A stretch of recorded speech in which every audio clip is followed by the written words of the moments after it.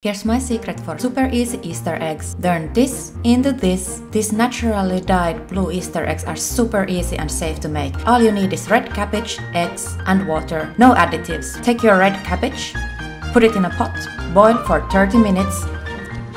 My ex said there are better uses for cabbage than this, but I think the only better use is to shove it up his. Turn the heat off. This is dry now. Put the boiled eggs in and let it sit overnight. Ta-da! And yes, you can eat them. It's just cabbage. But they might be a bit blue on the inside as well. Happy Easter!